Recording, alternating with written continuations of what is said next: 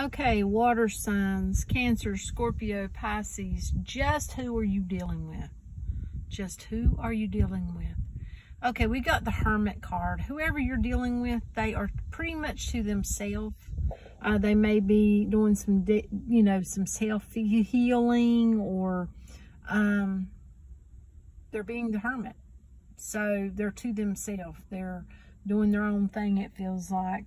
Um, this is someone who is very strong.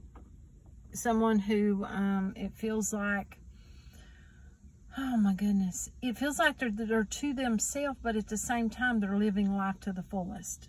Um, they have the strength, it feels like, to get, get past so much.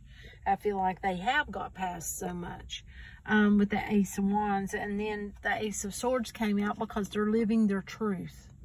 Um, this is someone who is um, possibly on their spiritual journey, their spiritual